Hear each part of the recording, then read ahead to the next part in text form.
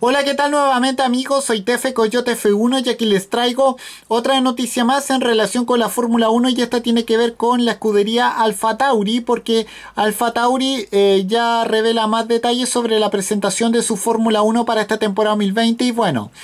Como sabemos, eh, el nuevo automóvil del equipo ya tiene nombre y bueno, vamos a conocerlo.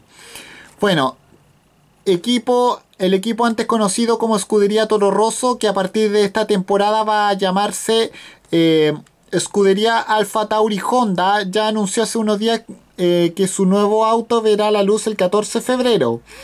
Pero ahora ha dejado más detalles como el lugar, la hora y el nombre que va a llevar. Bueno, eh, la escudería Alfa Tauri presentará por primera vez al mundo el ya mencionado AT01. será el próximo viernes a las 8 de, 8 de la 8 de la tarde hora europea. Lo hará mediante un evento de lanzamiento que estará disponible para transmisión simultánea eh, a nivel mundial desde el hangar 7 eh, de, de Salzburgo, Australia, bueno, donde además eh, eso es precisamente el museo de, Red Bull y bueno, además de los pilotos oficiales del equipo que van a ser Pierre Gasly y Daniel Viat, Alfa Tauri ha confirmado que un piloto ilustre de la Fórmula 1 como es David Coulthard va a ser el, anfitrión de este evento.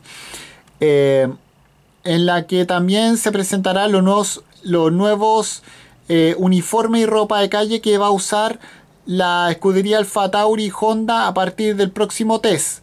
Bueno, aprovechando la ocasión y gran repercusión que tendrá a nivel mundial Alfa Tauri, eh, la marca de ropa premium independiente eh, fundada en Red Bull, también presentará los looks clave primavera-verano 2020. Bueno, precisamente durante el durante la primavera y verano europeo más un adelanto de las próximas colecciones de la marca durante dicho evento. De esta manera Alfa Tauri y Red Bull convertirán la presentación del nuevo AT01 en, en algo más que una simple muestra su nueva Fórmula 1 para la temporada 2020, la primera estrategia de marketing de esta nueva era por la que Red Bull y Toro Rosso decidieron cambiar eh, su nombre de la escudería a finales del pasado 2019. Y con esto me despido, adiós, que fuera, chao.